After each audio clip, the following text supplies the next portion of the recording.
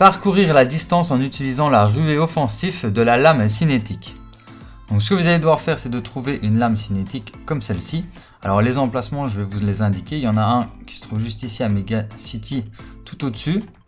Alors il y en a un autre qui se trouve... Ça se voit hein, parce que, regardez, c'est une sorte de rond comme ceci. Donc ça se voit plus ou moins sur la carte. Donc là, il y en a un, emplacement ici. Il y a un emplacement juste ici. Et euh, je crois qu'il y a un emplacement qui se trouve là. Donc voilà, après c'est possible que vous puissiez en trouver à euh, Kenjutsu Crossing. Ici aussi vous pouvez en trouver je pense. Mais principalement vous allez les trouver dans les arènes de combat que je viens de vous montrer. Donc dès que vous avez votre lame cinétique, ce que vous allez devoir faire c'est d'utiliser la ruée offensive. Donc pour l'utiliser vous avez juste à appuyer sur L2, voilà comme ceci.